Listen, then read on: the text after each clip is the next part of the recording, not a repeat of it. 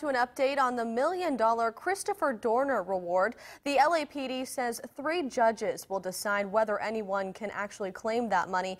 Yesterday, the department announced that those who want to claim it have until April 19th to apply for it. The department also announced that judges will decide how the money is distributed, if at all. Dorner killed four people back in February during his mission to seek revenge for being fired from the LAPD. His shooting rampage led to a manhunt that ended in a cabin in Big Bear where Dorner shot and killed himself.